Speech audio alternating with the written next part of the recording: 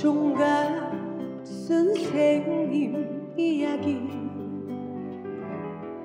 부엌에서 들리던 엄마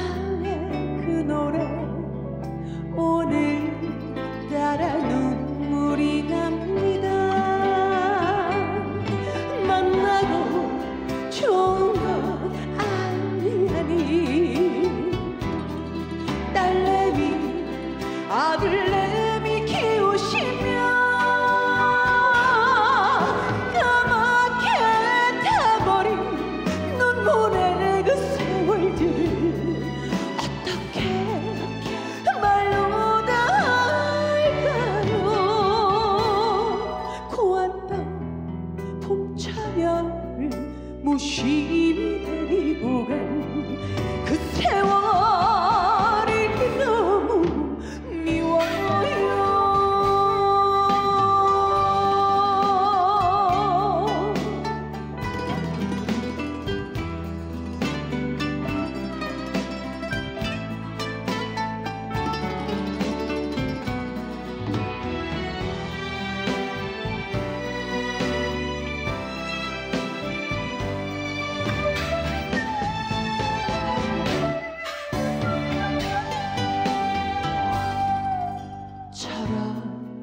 철없던 작은 아이가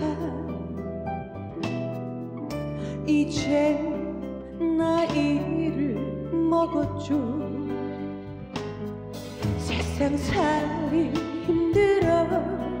지치는 날이면 듣고 싶은 엄마의